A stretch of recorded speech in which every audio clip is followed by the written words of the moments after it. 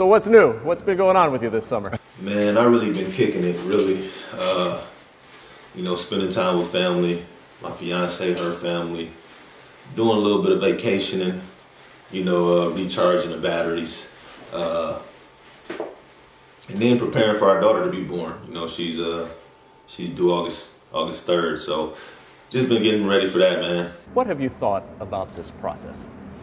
Man, it's been crazy. You know, um, COVID 19 really did a number on the basketball world, man. You know, there's teams that can't afford to, to, to, to even play. There's other teams self relegating themselves, and there's other teams who um, budgets have decreased significantly, man. Like, it's fucking crazy. Like, who would have ever thought that this would be the case?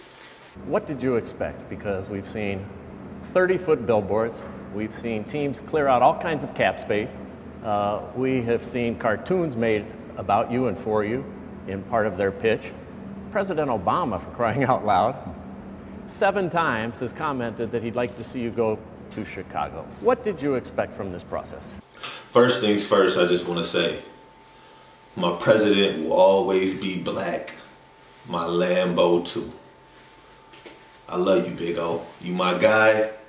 But them niggas on the south side be tripping, and ain't nobody got time for that. All right. Secondly, I can't even hold you. Them cartoons were sweet as fuck. like them shits was hard. Don't lie, you know they were. How many people know your decision right now? To be honest, not many people at all, man. Not many people at all. I can pretty much count on one hand how many people uh, know. So does the team that you're going to, that you'll announce in a few minutes, do they know your decision? Yeah, man. Of course they know. It's uh, it's pretty much a done deal. Uh, to be honest, like uh, it's not even pretty much a done deal. It is a done deal. So of course they know. Who in this process, LeBron, have you taken advice from, and who has had the biggest influence?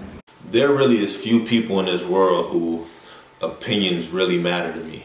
Um, you know, one being my mom, my brother, uh, my grandparents, and uh, but as of now, the only person I really consulted uh, with about this decision is my wife because uh, her and our future child are the only people who really matter, or the people who matter most to me. So, uh, what you know, what they got to say about the decision is the only thing that really matters right now. So, those are the only people I've talked to about uh, this decision.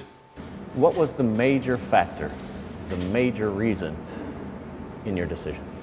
So being as close to home as I possibly could uh, was number one. Um, and number two was uh, just being myself again on the court. You know, I'm a, a team uh, from a coaching standpoint who has, you know, confidence in me as a player and is going to allow me to be myself and not going to, you know, hinder me from, from playing the way and uh, contributing contributing to the team the way that uh, I know I can and they know I can.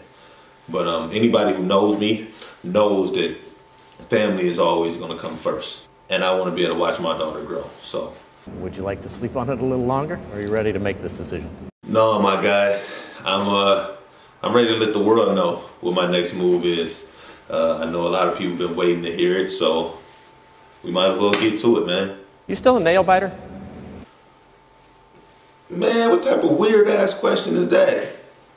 No, you better not be on no weird ass fetish shit, man. Keasy don't play that shit. Alright, I smack you on national television. Alright? But uh between me and you from time to time, you know, I still do. Why? Well, you've had everybody else biting their nails, so I guess it's time for them to stop chewing.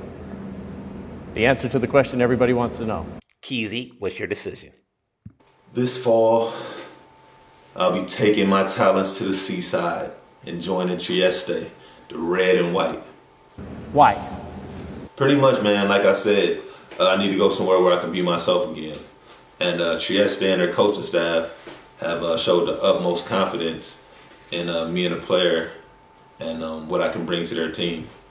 So, you know, that's a big a big factor. And then on top of that, um, I'm still in Italy. I'm not too far from home. Um, I'm a train ride or a car ride away from home. Um, and I can see my family um, a lot more than if I was to venture outside of Italy and go to another country and play.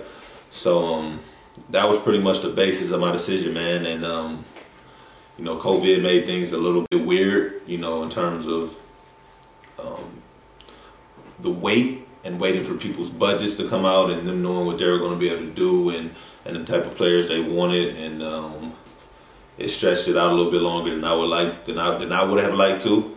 Um, but it is what it is. So that's where we're going with it, man. Um, be joining Trieste. I'm excited. Keasy.